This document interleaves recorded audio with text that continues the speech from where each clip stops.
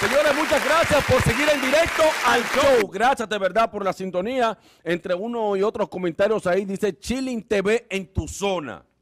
Soy un joven dominicano que vivo en Canadá. Soy el primer youtuber dominicano en Canadá. Hay que ver, ahorita veo tu página, pero gracias por estar con nosotros. Gracias por, eh, por, representar, por representar la dominicanidad en ese sentido.